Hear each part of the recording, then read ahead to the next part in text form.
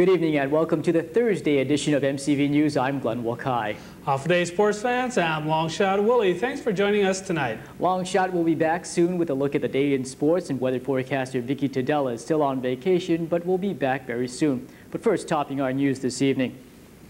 What's good for the goose is good for the gander. One senator feels if a handful of government employees are given a pay raise, everyone should see a similar increase. Before last night's Senate session was over, there was a lot of squawking in the chamber. What began as a very slow session really picked up steam as the evening moved along. After confirming three nominations, the senators took on a number of bills, one of which would establish a board to look into taking away water and sewage service from the Commonwealth Utilities Corporation. Senator Maritita's bill is expected to help the CUC become self-sufficient. Should this become law, we'll try to set a rate and, and try to, to make the, the water uh, self-generating uh, uh, revenue. So I will be conducting a public hearing on this, Mr. President. Senators unanimously passed the bill. Then the most memorable piece of legislation of the night went up for debate. It would increase judges' salaries by about $50,000. In a surprise move, Senator Juan Torres tried to tack on a comprehensive amendment. There shall be a salary increase of about of 25% across the board for all government CNMI employees and a COLA adjustment of 10% increase to all retirees in the retirement fund. If it is good for the judge to receive 60%, I think the other regular employees who make the backbone of this government deserve a break also, uh, Mr. President, and as well as uh, a COLA increase for all retirees. And, uh, and that's how I come about with the, the uh, percentage. To, to throw in a surprise amendment at this point is really just a monkey wrench being thrown in. And I will support Senator Torres if his effort is sincere. If he is really sincere, but if his effort is to to block the passage of House Bill uh, 191, then I will not support his intent. Senator Torres wanted to respond to Manglona's comments, but other senators overruled and ended debate. Senators unanimously passed the bill, increasing judges' salaries. However, before the session adjourned, Torres was able to slip in his two cents. I'm not saying that the judges are not working hard. They deserve this raise. But don't, they, don't the other employees of the government deserve a raise as well? After those comments, Torres gathered his belongings and walked out. What he missed were more comments by senators. I believe the 25% is outrageous. Uh, in the, you know, uh, even the, the, the, seven, the 14% that we passed, we had a long, uh, hard-fought battle there. 25% is, is not being, being uh, realistic. Senator David Cing fell short of saying Torres' amendment was an election year tactic and speculated on the public sentiment the senators uh, are not good senators because they turned down the offer of uh, Senator Torres. But really, that is not the matter. The matter is we are, we are in a financial crisis at this time. Senator Manglona suggested that Torres introduce his amendment as a separate bill.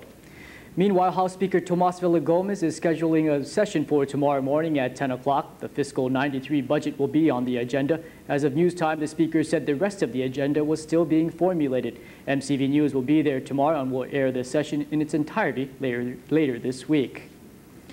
And it's deja vu in the courts after a special prosecutor succeeded in banning the Attorney General from defending the CUC Executive Director. This morning, Attorney Dennis O'Shea again sought to disqualify Guerrero's counsel. Pamela Picardal has the details. After the Superior Court ruled in favor of Government Special Prosecutor Dennis O'Shea's motion banning the Attorney General's Office's defense counsel to CUC Director Ray Guerrero on contempt of subpoena charges, O'Shea found himself back in court this morning raising another motion opposing Guerrero's Guam private attorney, David Lujan. Well, Mr. Lujan is not admitted to the bar locally. He's a member of the Guam bar, but he's not a member of the Saipan or Commonwealth bar. Yes, that's the main thing that happened today. That's correct. He's making application to practice, in this case, pro hac vice, which means limited only to this case. Lujan says three weeks from today, the courts will determine if he's qualified to represent Guerrero. And we will hear the uh, motion to have me allowed, you know, to represent Mr. Uh, Guerrero on March 10th. And on that same date, the arraignment will also be heard. Meanwhile, O'Shea says the Supreme Court denied a motion for stay and appeal made by the AG's office.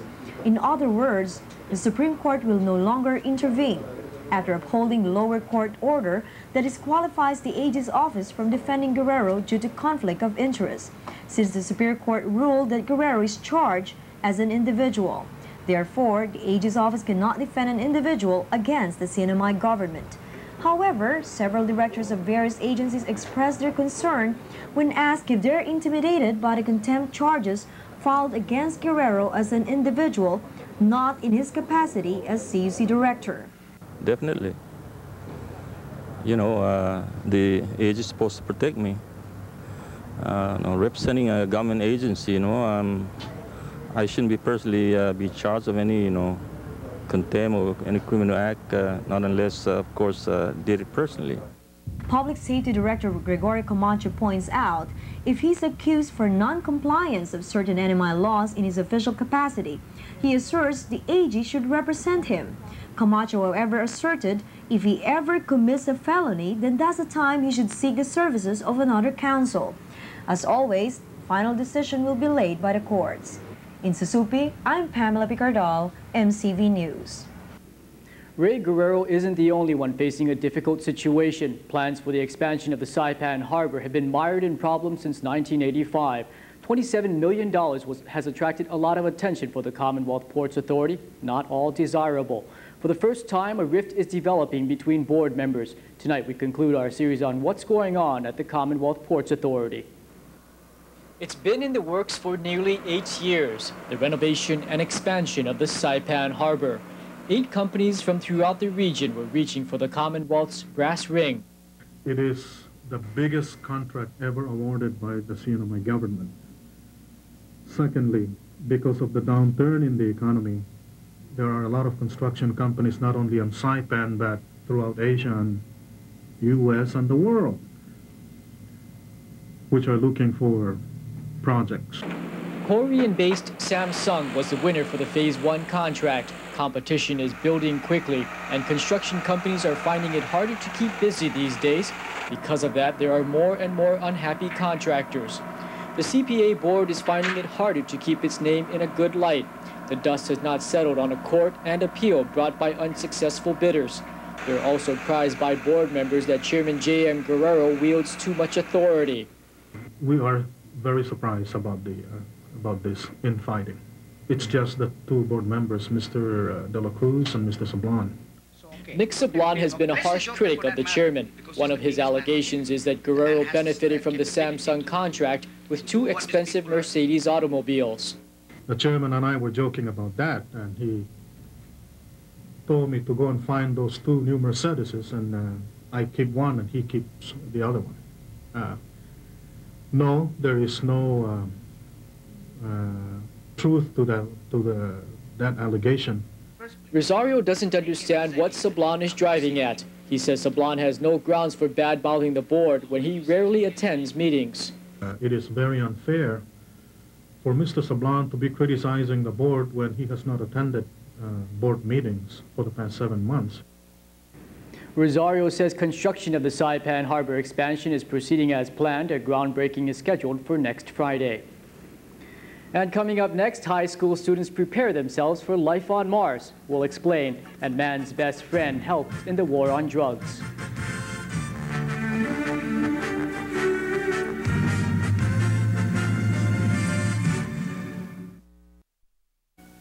Duty-free status for the Commonwealth is again in jeopardy. Virginia Congressman Lewis Payne told resident Representative Juan Babauta that he will reintroduce legislation to correct what he feels are labor and wage rate problems in the NMI. According to a news release from Babauta's office, Payne's bill would take away the duty-free status of goods made in the Commonwealth unless the labor force is paid the U.S. minimum wage of $4.25 per hour. Payne also wants half the labor force here to be comprised of local residents. The Virginia congressman represents a district where textile and garment manufacturing are vital to the local economy. On several occasions, he told NMI officials that he seeks a level playing field so the workers in his state can have an equal opportunity to compete for market share.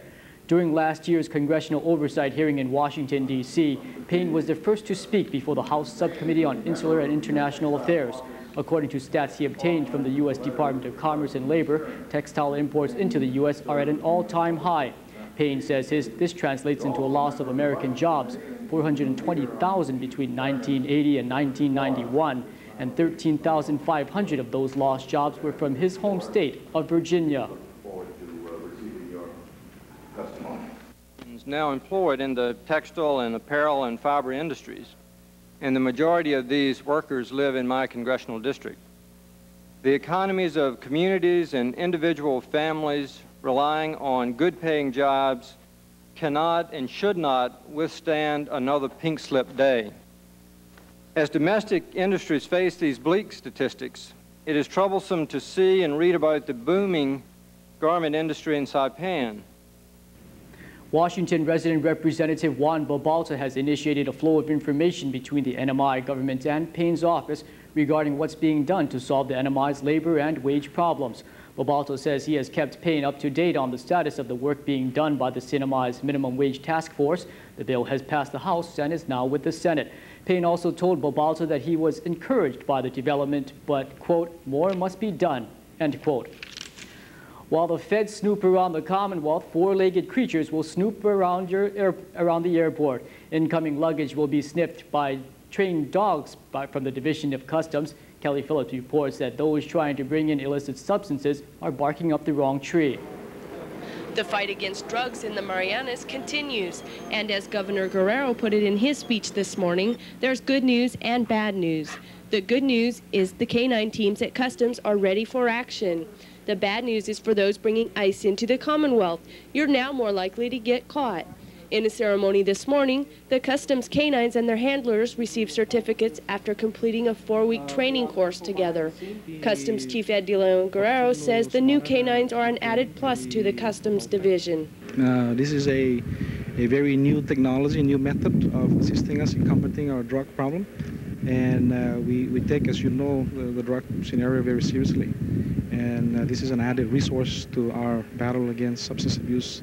The breed of the dogs is Malinois, and they come from the Netherlands. And with a nose that can detect 10,000 times better than the human nose, sniffing out drugs is just part of the job.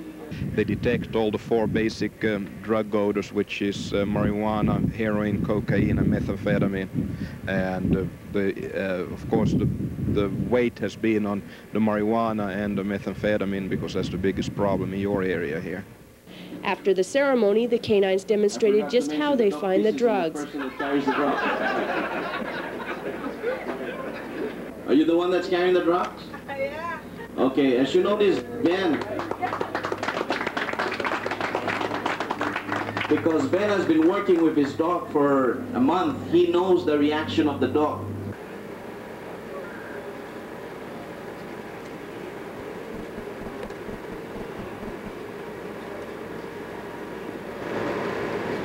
After locating the box with the drugs, the dog sat in front of it.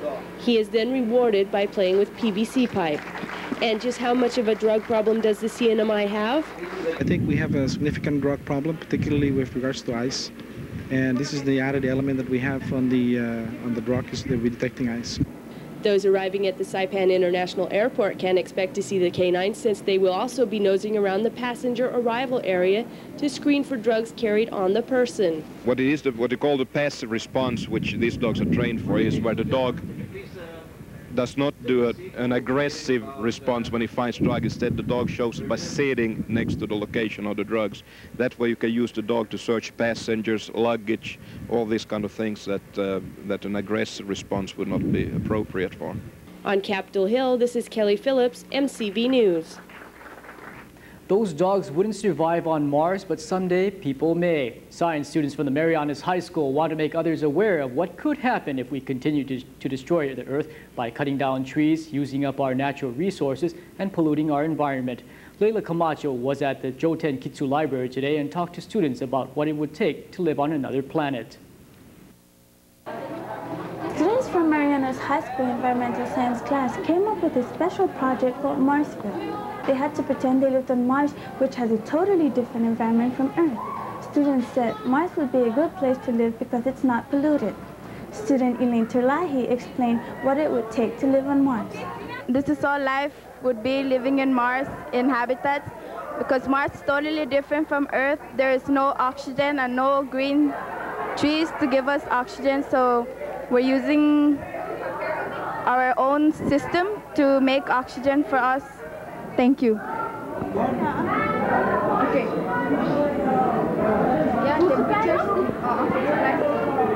Than the Earth, and the effect is so extra light is needed for photosynthesis, and the solution is so we added a sun lamp to our greenhouse to make air.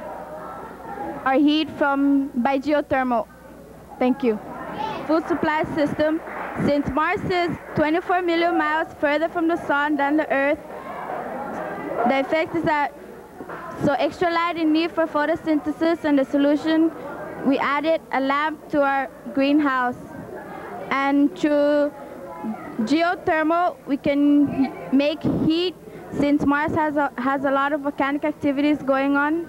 Michelle de says the experiment should make people think twice about how they treat the environment. Today we're just experimenting on how life would be on Mars, so we built these habitats to, and we also have systems inside where we explain how it works and how it affects us in where when we're when we will be on Mars. The students were divided into seven groups and they had to design seven different habitats. Elaine helped design a volcanic one. The organizer of the experiment says that the students were enthusiastic space colonists. Since Mars is 24 million miles further from the sun than the Earth, the effect is that so extra light is needed for photosynthesis and the solution, we added a lamp to our greenhouse. Can make heat since Mars has a, has a lot of volcanic activities going on. The environmental science teachers and today we have put up the village Marsville. Uh, it's a cosmic village. Uh, it's a village that is sustainable. It doesn't harm. It doesn't harm the environment. The students have been working on this for the past three months, and today is the final link up of their actual village. How did you guys come up with this idea? Okay, this idea actually was not come up by us. This is a project from the Challenger Learning Center, which was a uh, an organization that was developed after the Challenger shuttle explosion. Do you have any other comments? I'm just really proud of the students. They're the ones that deserve all the praise. They're the ones who did all the hard work, and they're the ones that this should be focused upon today. Mississippi, this is Leila Camacho, MCV News.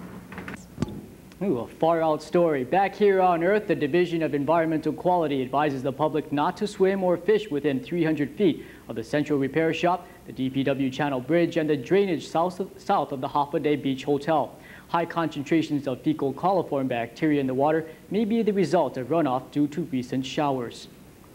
And coming up next, we shower you with Longshot Willie, who says the Olympics will take on a tropical flavor this weekend, plus highlights of National Place of the Week.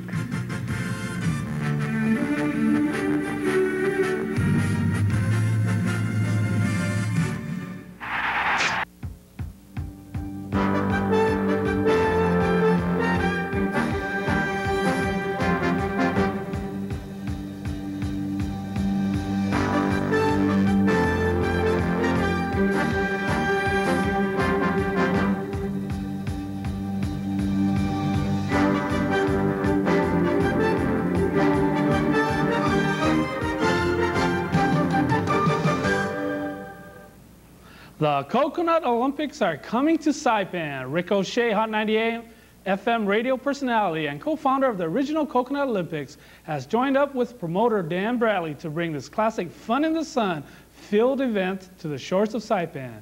Here's Rick with more info. Um, we started the Coconut Olympics down on the beach in Tumon on Guam um, uh, with some friends that owned a, a, bar. It was called Barney's. They were just opening up. Uh, uh, Barney Castro, Pam Lalonde, uh, wanted to do something sort of uh, different for their grand opening. We put it together. We came up with some crazy games, and uh, Next thing we know, we're doing it once a year, twice a year, three times a year. Why we are here is to invite everybody down Sunday to the beach right in front of the Hyatt at Skippers uh, for uh, Ricochet's first Saipan Coconut Olympics. It's uh, uh, wild and crazy beach games, a bikini contest. Miss Fiestan Nidzuk will be crowned Sunday, uh, which is Queen of the Coconut Festival. Um, it's a, a, hot fun in the sun uh, beachwear competition, bikini contest. Uh, the winner, the winner will win two tickets to Honolulu, round trip tickets. You know, so they get to come back as well. Some of the events will include uh, coconut trashorama, the coconut bag run, coconut tug of war, the three-legged race, um, and a lot of other a lot of other wild and crazy games that are as much fun to watch as they are to play. So. Um, uh, $5 entry fee gets you into as many games as you'd like to participate in. You don't have to pay to come and watch. Rick has challenged me on some coconut events this Sunday. Sounds fun. Maybe I'll take him on. Once upon a time, organized aerobic exercise on Saipan consists of low-key workouts around and in hotel pools, trying to improve body tone and pump some blood back into the weary system of island visitors. Wouldn't you know, the Japanese have made this an all into a competitive event, complete with famous fitness experts from Japan and wall-to-wall coverage by the Japanese network TV Tokyo. The cameras will be recording the action as participants from Japan and Korea compete in beach walking, beach aerobics, aqua aerobics, and beach step aerobics. The competitive event gets underway Saturday, 9.30 in the morning at the Hyatt Regency Saipan Beachside and finishes 6 p.m. Sunday. That's it for the Miller Sports Page. Stay tuned for the weather after this break. After a series of gloomy days, the skies finally smiled on us, revealing a bright sunny day. Let's move on to reveal what's in store over the next 24 hours. Tonight will be mostly cloudy with isolated light showers. Winds will be blowing from the east at 10 to 15 miles per hour. You can expect the temperature to dip into the mid 70s. Seas will be moderate to rough at 7 to 4 to 9 feet. Surf will be hazardous 7 to 10 feet on north, northern clockwise through southeastern exposures. The sun will rise at 6.43 tomorrow morning, bringing in, bringing in a day of partly cloudy skies with isolated light showers.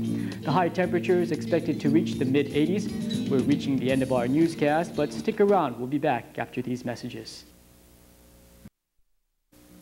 That's all the time we have for news tonight. That's right, Willie. In case you missed a portion of this cast, you can watch it again at 9 tonight, tomorrow, and tomorrow morning at 6 a.m. On behalf of Willie, myself, and the entire MCV News team, thanks for joining us, and we'll see you again tomorrow. Good night, everyone. Cheers.